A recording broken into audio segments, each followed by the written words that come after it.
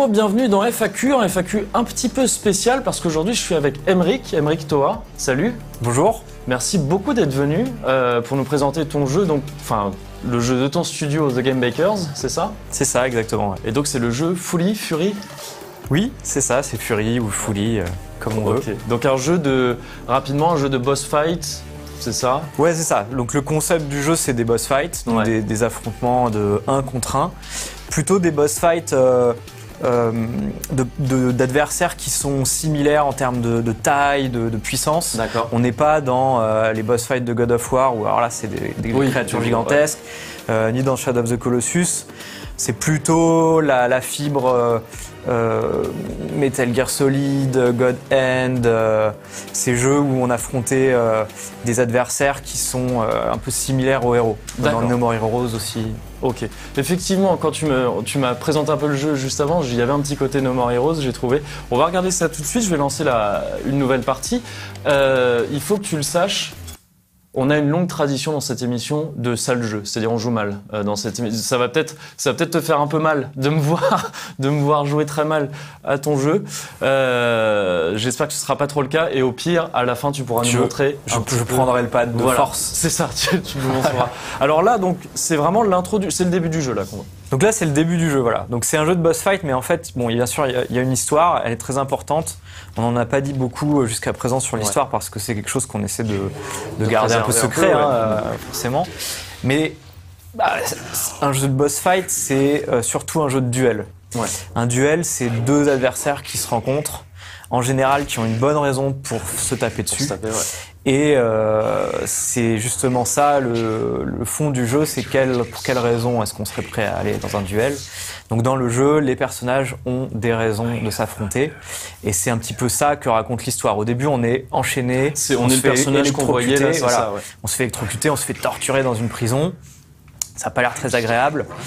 Et euh, on a un personnage un petit peu mystérieux avec un masque de lapin On voit ici. on voit ouais. ici, euh, qui va nous libérer et nous dire euh, écoute, euh, il faut qu'on sorte de là, ça va pas, il te, il te casse la figure, euh, il faut qu'on qu'on se batte pour sortir d'ici, et qui nous donne une épée et un flingue. Un.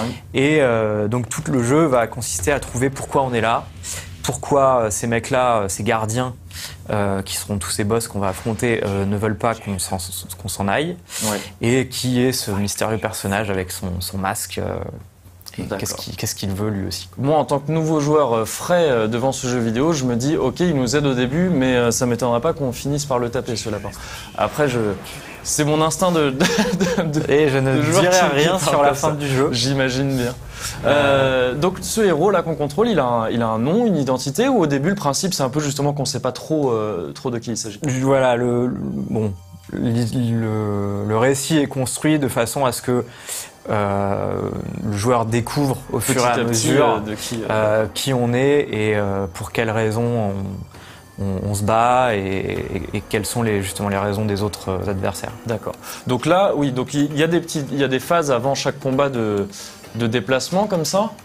Euh, C'est ça, en qui fait. t'amène d'un boss à l'autre du Au coup. début, alors dans le premier niveau, c'est un petit peu spécifique parce qu'il y a une introduction cinématique et que euh, on essaie d'amener très rapidement vers le combat. Dans les autres niveaux, on va marcher le long de, des chemins, on appelle ça des chemins, D'accord. Euh, qui sont des, des séquences euh, où il n'y a pas de combat et où le personnage au masque de lapin va nous coacher, va nous dire attention, méfie-toi, le prochain, il est super fort, Ouais. il sait faire ça, il sait faire ça. Ah là rapidement, on voit du coup les euh, les, a- les futures arènes du jeu. Enfin, C'est ça, en du- fait, c'est ouais. une, prison à, à Ah, plusieurs euh, étages et plusieurs mondes qui sont qui est gardée par euh, chacune de ces prisons gardées par un gardien qu'il faut qu'il faut affronter. Et et donc voilà, on va marcher sur ces chemins et c'est une phase de transition. euh, qui permet euh, de faire une pause entre deux combats un petit peu intenses et aussi de, construire la tension. Ok. Et donc là, bon bah, on se retrouve dans un combat, le premier combat du jeu là, qui va, Ouais. qui je suppose du coup fait un peu office de tutoriel. Tu m'as expliqué un petit peu avant. Euh, donc y a, on a un dash. Alors déjà, pff, Bon, le dash, je trouve que c'est toujours un des mouvements les plus euh, cool du jeu vidéo.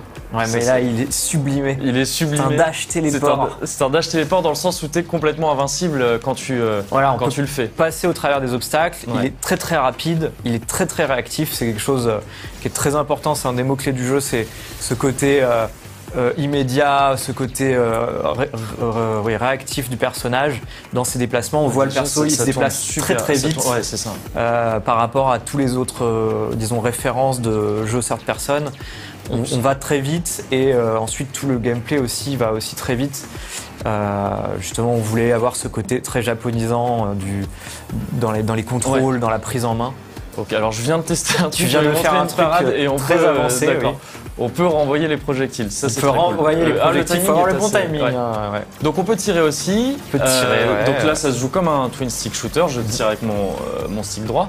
Et une fois que je l'ai affaibli, je peux, on rentre dans une phase euh, au corps à corps. C'est ça. Et je me fais... corps à corps, il te tabasse. Où là, le, le, principe, ça va être de, donc de parer c'est cool. On peut faire plusieurs choses. On peut parer, on peut esquiver aussi. Euh, là, euh, dans cette première phase, on essaie d'apprendre la chose, une des choses les plus importantes du jeu, c'est parade punition. Ouais. C'est un jeu où on contre-attaque. Si on button mash dans l'adversaire, il se protège, il n'est pas idiot, il voit le coup arriver. Ouais, voilà, c'est ça. Et plus tard, il pourra même contrer. Et euh, enfin, c'est vraiment une mauvaise idée de, faire ça Il pourra punir le joueur, contre-attaquer, il n'y a pas de problème là-dessus. J'ai l'impression que quand on fait une parade, ça redonne de la vie, c'est ça? Absolument, ouais. Donc ça, c'est le, ce qu'on appelle le risk-reward, le récompense-risque par excellence. Ouais. La parade, si on la rate, on prend un coup, on perd des points de vie. Si on la réussit, on regagne un petit peu de, vie. Ce qui fait que dans les moments où on n'a plus beaucoup de vie, c'est très tendu, on peut se concentrer et revenir, euh, remettre, euh, euh, régénérer sa vie et reprendre le dessus dans un, moment qui était un petit peu perdu d'avance. D'accord. Donc là, on voit que je peux charger euh, mon tir, mais en fait, je peux charger un peu tout. Quoi. Tu m'as montré, on peut même charger le dash on pour aller charger plus le dash, charger le, Les attaques, tir euh, et charger le coup d'épée. Voilà. Ah oui, ça fait d'accord. Et la ah oui, par contre, la parade, c'est vraiment une parade. On peut pas la garder, ça peut pas être une garde. Il faut vraiment avoir du réflexe et du timing. Les temps sont assez courts. Il faut euh, apprendre la petite musique des, combos pour bien les parer. Donc là, on voit un peu que le, coup chargé permet de le. Même quand il est en, position neutre, le coup chargé lui casse sa garde, j'ai l'impression. Ouais, le coup chargé casse la garde. Euh, des fois, sur une contre-attaque de face, euh, il va pouvoir contrer. Il va pouvoir faire quelque Il faut être réactif dans ces cas-là.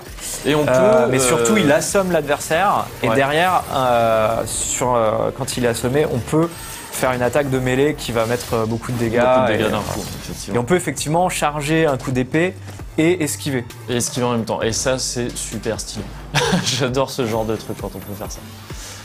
Donc là, on rentre dans une phase qui ressemble presque plus à du, euh, à du euh, presque du Danmaku, quoi. Enfin, c'est ce genre de. Oui, oui, c'est du, c'est du shoot, hein, ouais. shoot up, euh, arcade à l'ancienne. avec, voilà, là, tu fais très bien. Donc, tu arrives à passer au travers des, des, attaques adverses en tirant. On peut détruire les projectiles. Et donc là, le but, c'est de l'affaiblir en lui tirant dessus sans se faire toucher à distance. En lui renvoyant des. Pour l'instant, tu t'en sors très bien. Ah bah, je dois dire, j'ai vu pas mal de joueurs tester la démo. Et bah ça, euh, D'accord. Ah, on peut aussi. Oh, ok. Les, euh, tout ce qui est pattern là comme ça, euh, c'est qui qui s'en est chargé dans l'équipe? Déjà, on n'a même pas parlé un peu de The Game Bakers, donc c'est vous êtes une équipe d'une quinzaine de personnes, tu m'as dit C'est ça? On est une quinzaine de personnes. on est répartis un petit peu à travers le monde. On est un, un studio physique à Montpellier euh, qui, on est 3-4. Euh, Après, euh, on a des gens, on a quelqu'un en Pologne justement qui s'est chargé de, de tout le design des combats. D'accord. On a quelqu'un en Suède, mon associé Audrey, on a un programmeur à Montréal, on a Takashi Okazaki qui a fait le, caractère design des personnages qui est au Japon. Et qu'on connaît pour Afro Samurai, c'est ça? Ouais. Mm. On reconnaît un petit peu l'ambiance, ouais, cette ambiance évidemment très Japon. Alors, Là, j'avoue que jusqu'ici, je fanfaronnais un petit peu parce que tu m'avais montré ça juste avant. Mais là, on arrive dans des phases que je ne connais pas. Bah, il s'énerve un peu. Alors, c'est là où, ça, où je vais peut-être euh, moins rigoler.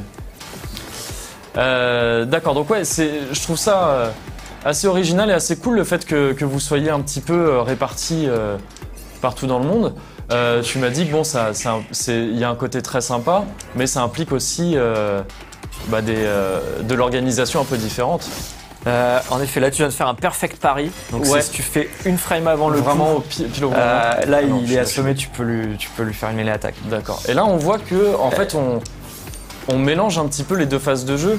Jusqu'ici, elles étaient là, voilà. fractionnées. Tout, tout va être mélangé maintenant. Il va attaquer au corps à corps en étant Oula. en caméra éloignée. Il va Et là, il va me déboîter. la tronche parce que tu parles, tu parles, mais il faut, il faut être Je suis concentré. quand même dans un combat à la base. Donc voilà, on, on mélange un petit peu les deux. Il va faire des attaques à distance, il va venir au corps à corps. Le but c'est toujours de l'affaiblir D'accord. et, euh, et de le mettre à genoux pour venir le finir au corps à corps. Ok. Et là, je commence à être dans un état critique. Ah non.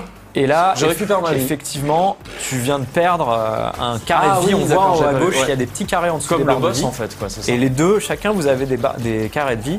Et ce qu'il faut savoir, c'est que si tu lui en prends un, t'en regagnes un.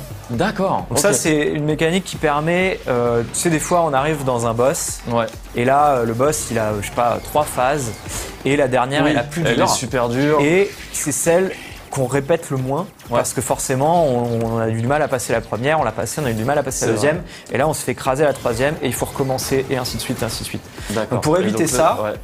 Euh, si tu te concentres, à tout moment, tu peux regagner de la vie en faisant des, des parades et regagner des barres de vie en le mettant KO lui.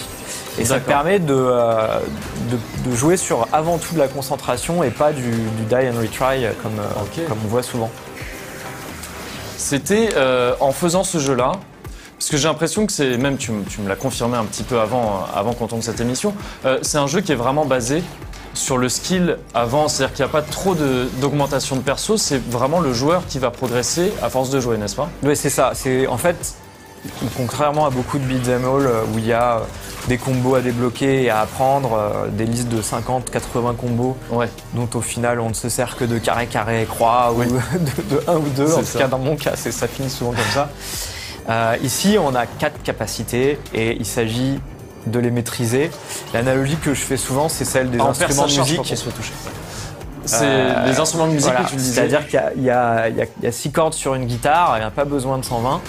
Euh, et entre euh, un joueur débutant et un joueur qui s'est entraîné beaucoup sur une partition, il va y avoir euh, un monde. Et donc Ouais. là, c'est exactement la même chose. On a quatre capacités, c'est les, les six cordes de la guitare. Et chaque boss est une partition différente. D'accord. On a mis énormément d'efforts, tous les efforts de production ont été dans la variété des boss, parce qu'un boss, c'est avant tout un combat unique Ouais. Et euh, de façon à ce qu'ils soient euh, différents, qu'ils offrent des, des challenges différents, qui, qui forcent le joueur à utiliser ses, ses capacités un petit peu différemment et de façon euh, euh, dans, un terme, dans un rythme différent ou dans une. euh, Il y a des boss qui vont utiliser beaucoup plus de corps à corps, il y en a d'autres Ouais. qui vont utiliser beaucoup plus de combats à distance, d'autres qui vont mélanger les deux. Euh, Là, c'est ce boss-là, c'est un boss qui, qui montre un petit peu justement tous les, euh, tout ce que tu peux, ce à quoi tu peux t'attendre dans le jeu euh, plus tard. C'est ça qui mélange un peu tout. ou- C'est ça, c'est. Ils montrent pas tout évidemment, puisque euh, ils ont tous leur capacité spéciale et leur, euh, ils renouvellent à chaque fois le jeu, mais ils donnent un, un aperçu du combat à distance, du combat au corps à corps. Ouais. Euh, c'est un, un aperçu, c'est c'est un boss qui est assez équilibré en fait. D'accord. Tu t'en sors pas mal parce que tu arrives à faire des parades alors que je suis en train de J'essaye, parler. mais par- c'est pour ça que parfois je euh, perds d'un coup. Oh, il me traque. Ouais, c'est pour ça que tu prends des hits, ouais, je sais, ouais, c'est c'est ma faute. Non, non, c'est que c'est pour ça que d'un coup je me tais. Parfois, c'est parce que d'un coup je me concentre. Ah non. D'accord. Ah, on peut l'interrompre là. Du coup, j'ai interrompu. Tu peux, son- tu peux l'interrompre. En fait, tout le jeu, donc c'est un jeu de contre-attaque, c'est un jeu où euh, on peut lire les, sur les animations en général les Ouais. moments où il est vulnérable. Donc le plus souvent, le meilleur moment pour contre-attaquer, c'est quand, quand lui il fait un combo euh, et puis au dernier coup, il va être euh, dans une posture un petit peu inconfortable D'accord. parce qu'il s'est laissé entraîner dans son truc. Et c'est le moment où là, on peut punir. Ouais. Mais si on essaie de... glisser des coups entre, ça peut passer, mais on peut aussi se faire bloquer et derrière il contre-attaque. Donc là, il faut être rapide, soit sur l'esquive, soit sur la parade. D'accord. En tout cas, euh, bah, c'est cool parce que là, on voit qu'on est sur le premier boss et il est quand même déjà assez long, assez varié. Toi, je vois beaucoup de patterns différents. Euh, je sais pas si tu peux le dire dès maintenant, mais vous avez prévu à combien de boss à peu près? Est-ce que tu peux donner un ordre de grandeur ou même Le, pas? le nombre de boss, je ne veux pas le dire parce que c'est lié à l'histoire Ouais. et j'ai pas envie de spoiler ce- cet aspect-là. Après, euh, une estimation euh, de la durée de vie, ça dépend vraiment du skill du joueur parce que évidemment un joueur plus euh, skillé qui va mourir très peu va, va finir le jeu plus vite, mais le mode de jeu normal, je l'estime sur 6 à 10 heures. D'accord. Ensuite, là, on, on débloque différents modes qui viennent vraiment apporter une nouvelle façon de jouer. Il y a un mode de jeu difficile dans lequel on a passé beaucoup de temps à ne pas juste augmenter les, dégâts et les points de ah, vie, cool. mais à redesigner tous les patterns. Ok. Donc c'est des boss fights euh, différents. voilà, c'est ça que je me disais. Euh, donc on, Bon, je sais pas exactement combien il y a de boss, mais j'imagine qu'il y en a quelques-uns. Et là, tu vois, je vois déjà le premier qui propose pas mal de patterns différents. Tu me dis qu'en plus, c'est pas les mêmes patterns euh, entre les différents modes de difficulté. Ça me paraît être beaucoup de taf. Enfin, c'est très cool. Hein. ouais, c'est beaucoup de taf. C'est deux ans de taf pour notre équipe. Euh, donc euh, donc c'est beaucoup de c'est beaucoup de travail. Et en fait tu vois le, le concept même de ce jeu là euh, c'était justement de se dire ok nous on est une petite équipe. On n'est pas l'équipe d'un triple A d'un Uncharted ou d'un Assassin's Creed ou d'un Bayonetta. Comment est-ce qu'on fait pour aussi bien que un jeu vidéo? Et eh ben, en en faisant moins et en se concentrant. Donc c'est pour ça qu'on s'est dit on fait des boss fights. Ouais. Il n'y a pas de petits mecs à battre sur le chemin.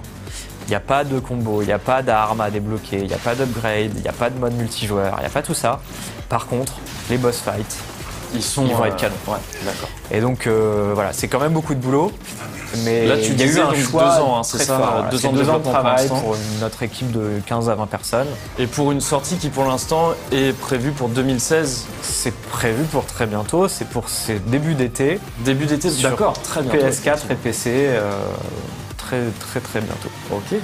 Euh, PS4 et PC uniquement ou pour l'instant et après possiblement ailleurs euh Je dorrai ailleurs, mais pour l'instant on s'est concentré sur deux, euh, deux, versions, ce qui est déjà beaucoup de boulot. Donc c'est pour l'instant PS4 et PC. ouais, en premier. Ok. Qu'est-ce qui a fait que vous êtes allé sur ce genre de jeu après après donc ce que vous aviez fait précédemment avec Game Baker, c'était les Squids, Squids donc d'abord Squid sur euh, téléphone si je me trompe pas, ensuite il y a eu des portages euh, console, tu étais même venu en parler euh, sur la chaîne. j'étais venu pour Extra Life, c'était super. Et euh... tirer dessus un peu pour affaiblir à distance. En fait, c'est une. D'abord, c'est une envie de retourner vers le design du pad. D'accord. designer pour un pad, c'est pas la même chose que de designer pour un écran tactile. C'est pas les mêmes contrôles du tout. Et j'avais envie parce que ça me manquait un petit peu. Puis euh, finalement, c'est aussi à ça que je joue. Moi, je suis plutôt un joueur console. D'accord. Et, euh, l'autre raison, c'est parce que j'avais cette idée de faire un jeu qui serait un long boss fight, ou que des boss fights, depuis des années, depuis 2006 à peu près. Euh, donc, je me suis dit, allez, c'est l'occasion. On avait fait un jeu qui s'appelait Combo Crew avant qui était déjà un petit beat'em all. J'avais dans l'équipe des gens dont la passion était ce genre de jeu, euh, qui sont très forts pour euh, animer. Euh, notre animateur, c'est un gros fan de Street Fighter, il, est très bon pour faire des, attaques, qui, des animations qui vont avoir un punch que je trouve à la japonaise, qui donne, qui donne cette sensation de puissance et de réactivité. De, de très très japonais, je trouve, dans le jeu. Alors en plus, bien sûr, de de l'ambiance hein, que, qu'on reconnaît là très, très vite. Il y a quelque chose ouais, dans le feeling, je trouve, là, quand j'y joue, ne serait-ce que ce côté boss fight. Euh, tu l'as dit tout à l'heure, ça fait, on pense à du Metal Gear, à des, à des jeux comme ça.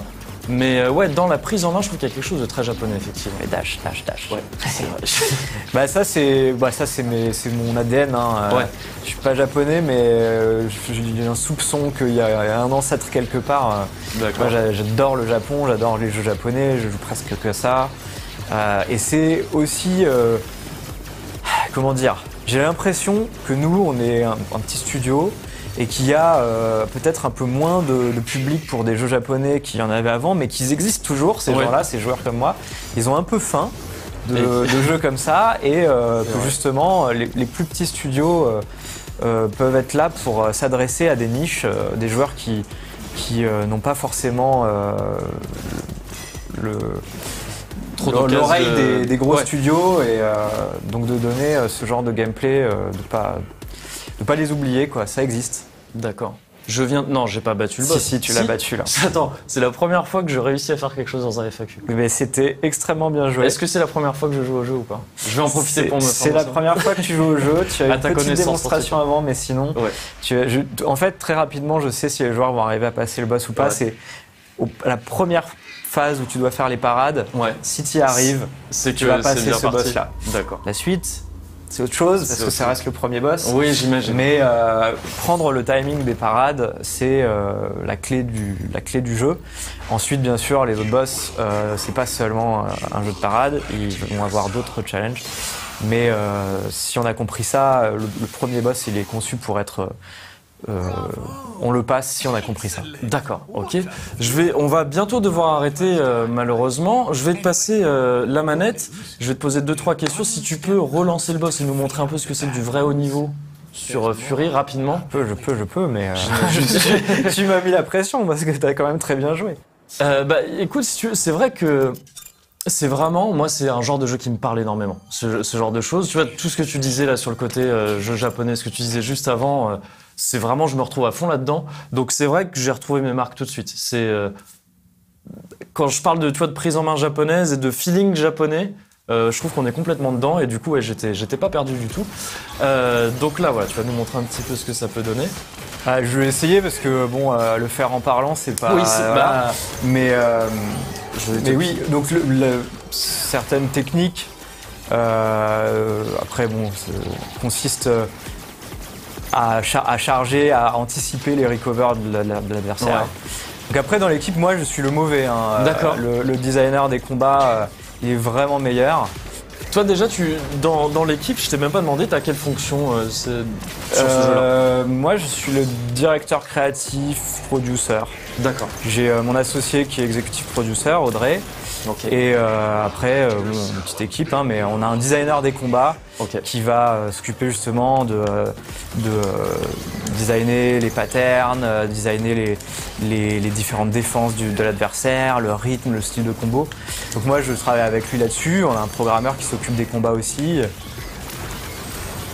On a vu quand même une série de parades pas dégueulasses du ouais, Non, non, non, mais j'ai. c'est un jeu où il est quand même, même pour quelqu'un d'habitué, difficile de parler et de dire des choses intelligentes. Euh, c'est pour ça que tu étais, très impressionnant, mine de rien. Euh, ah, arrête, parce qu'après les gens ils vont croire que, que c'était prévu, que c'était juste un, pour ça. Un truc pas mal, c'est esquiver, esquiver, esquiver et, punir. Et, voilà, je l'ai pas du tout réussi, donc euh, la, démonstration, je vais me faire par je mon vais, équipe. Je vais te gêner encore plus en posant d'autres questions. C'est que là, encore une fois, on va devoir arrêter bientôt, mais avant ça, on, a dit qu'il y avait le, créateur de le créateur, hein, je crois, de Afro Samurai, c'est ça qui ici est, au design des, euh, personnages. Mais euh, il y a d'autres euh, d'autres personnalités un petit peu connues sur le jeu, y compris dans la musique.